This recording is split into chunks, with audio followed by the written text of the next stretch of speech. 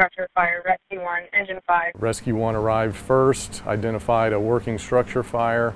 It was full of smoke. You couldn't see like normal. We work in the dark. Conditions uh, began to change. Uh, we noticed that it was uh, increasingly getting hotter. While pulling ceiling, uh, we were met with heavy heat and uh, some rollover flame over our heads. We all felt our gear get saturated uh, much faster than usual, so we knew we had a problem that was getting hot quick and we couldn't find the seat of the fire. I decided that we were going to um, exit the second floor. Well, once we exited the structure, we realized that we had bigger problems is that I was missing somebody that was inside the house with me. And it was at that time that we received uh, an emergency uh, notification through our radio, uh, a man down feature on our radio. And the mic automatically opens up and we heard Rob's call for help.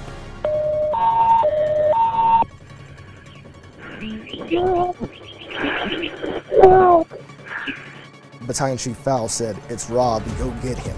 So, so Rob Mays is the senior firefighter on the division. He is one of those individuals that all of us look to uh, to, to gain experience, knowledge. When somebody is smarter than you and your mentor, how did they get themselves in trouble and how am I going to get them out of trouble? And coming in, it was a steep stairwell and a real short landing at the top.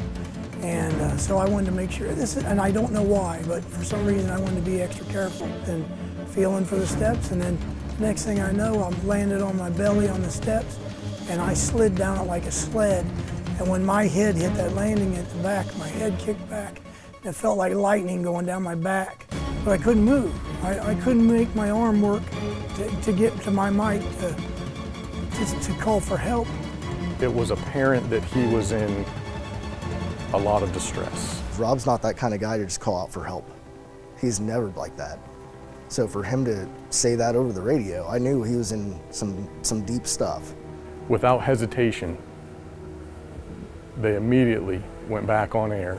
I think we all knew that time was not on our side. Clicked in my regulator about halfway through uh, the living room. And we find Rob face down at the landing of the stair. His eyes were just gazed off into the horizon. Couldn't, he wouldn't answer any of my questions or anything, so I knew that there was something seriously wrong. Myself and Captain Shenefield grabbed Rob by his um, SCBA straps and began egressing the building with him. And as they're moving him out, right, they're stumbling and, and falling, and Captain Shenefield's mask had become dislodged during that, uh, and so he was just he was just eating the smoke. Um, upon uh, exiting the building, Captain Shenefield and I began to vomit. Just we were depleted, spent. Immediately when something like a Mayday happens, uh, we have medics right there at the door, ready to help. So as soon as we got him out to the porch, medics completely took over. And I woke up out on the lawn, and I told him, I says, I think I broke my neck. I, uh, I need to go to Miami Valley, and I need the helicopter. And I had a surgeon named Nora Foster.